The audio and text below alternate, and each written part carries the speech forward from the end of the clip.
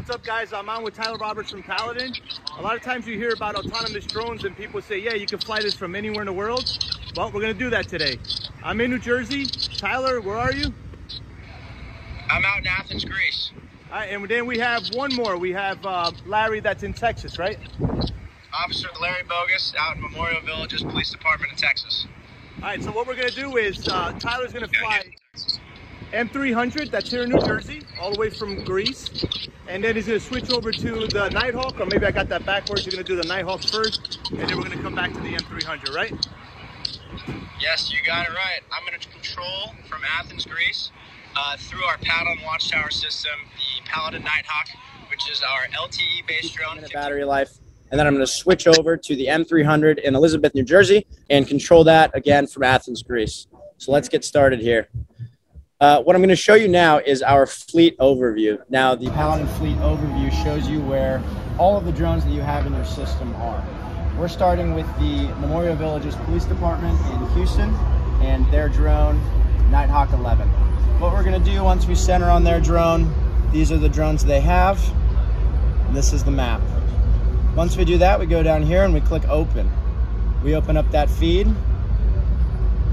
and boom, we have a drone with live video feed in Memorial Villages, Texas from Athens, Greece.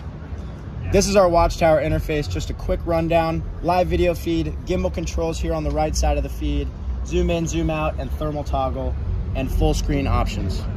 Down here we have metrics that we think are the most important to track. Battery life, speed, altitude, ETA, and distance from home. Now we designed the system to be about as simple and easy to use as possible. There are three buttons that you click in order to film. Start, drone takes off. Stop, drone hovers in midair. Return to home, drone flies back to where it took off from and lands autonomously. Again, this is the Paladin DFR system. We're flying from Athens, Greece, and we're about to take off on Paladin's Knighthawk in Memorial Villages, suburb in Houston, Texas. Officer Larry Bogus there is going to be our PIC. Uh, the reason he's the PIC is because I'm going to be controlling two drones right now, but the FAA requires one drone in control. So I will be controlling the Elizabeth M300. Larry, you ready on your end? Yes, sir. All clear. All right, Larry, what we're going to do now is we are going to launch the drone. Like I said, all you have to do to launch the drone is click start.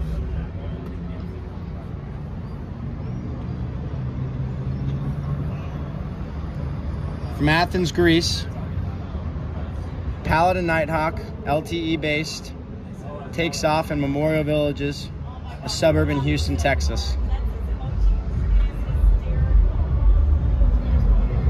We have full control. We click start. The waypoint in MVPD is marked by this red marker here. When this icon is highlighted orange, it highlights the flight path between drone and waypoint toggle it off. I can zoom in, I can zoom out, I can move it around. What you're seeing here in this dark area is the geofence. Drone hits that, it cannot penetrate that wall. And that is one of our built-in safety features.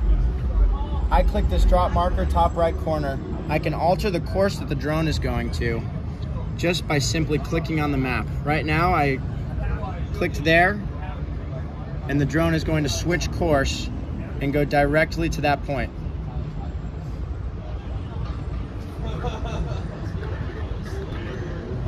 Let's move it a little closer. Because once the drone actually arrives on that point, what it's gonna do is actually something that was recommended to us by firefighters. Uh, through feedback with firefighters, they said that in an autonomous drone system, what they wanted was a 360 orbiting view right when the drone arrived on scene. So what we have here is a programmed in 360 bird's eye view. Now what we can do here is we can click stop. Stop stops the orbit. Now let's take over some gimbal controls. These are our finite gimbal controls, each with a different degree that changes the drone. You click this button here, it toggles it all the way up to the start. That is, that is a vertical or a, a straight on view. Go ahead and let's toggle this down. Toggle it over. This is a 10x optical zoom with 640 by 512p thermal. Let's go ahead and check out the thermal here. We have a few options. There's your first. There's your second. There's your third. We have a dual view and back to normal. That is the overview of Knighthawk and Paladin Watchtower. Now what I want to do here, Larry, go ahead and take control. I'm going to show us clicking RTH. When you click RTH, gimbal goes back up to the horizon as Paladin is committed to privacy. Back up to the horizon and returns to home and lands exactly where it took off. Now what we're going to do, we're going to go back to the Watchtower fleet overview. And we're going to zero in on the Elizabeth M300. The Elizabeth M300 Lewis is acting as a VO. This is in Elizabeth, New Jersey. Lewis, you ready over there?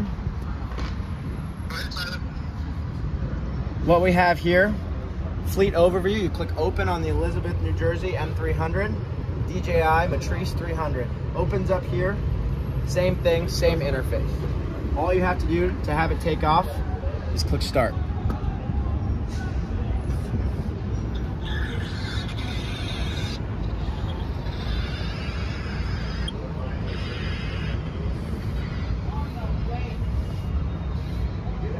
M300 from Athens, Greece. Takes off to its designated altitude and begins doing a straight line to its waypoint. Elizabeth, New Jersey is located in Class B airspace. Newark International right here. Through Paladin's waiver process, we were able to get beyond visual line of sight, which allows me to operate in Athens, Greece,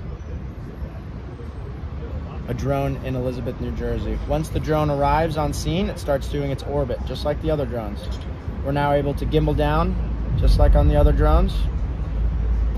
Click stop, drone hovers, gimbal down, zoom,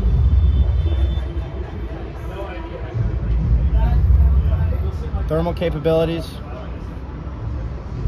full screen mode,